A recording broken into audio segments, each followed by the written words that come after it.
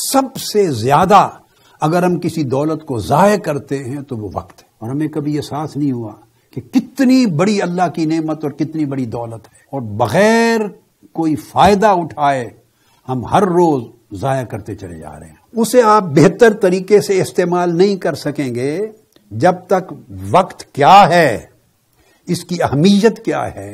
इसका जिंदगी के साथ रेलिवेंस क्या है जब तक ये समझ में नहीं आएगा